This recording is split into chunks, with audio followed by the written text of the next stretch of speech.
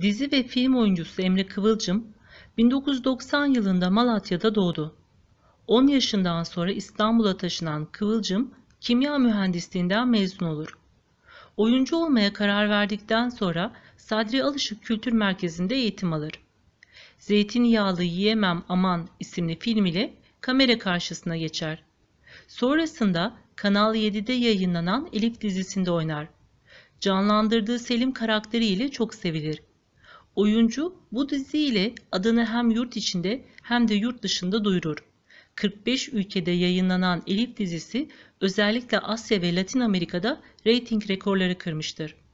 Sonrasında adı Zehra, Kim Daha Mutlu, Türkler Geliyor gibi ses getiren yapımlarda da rol alır.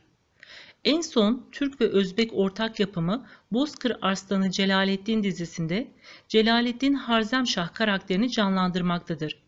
Başarılı oyuncunun adını ilerleyen günlerde sıkça duyacağız.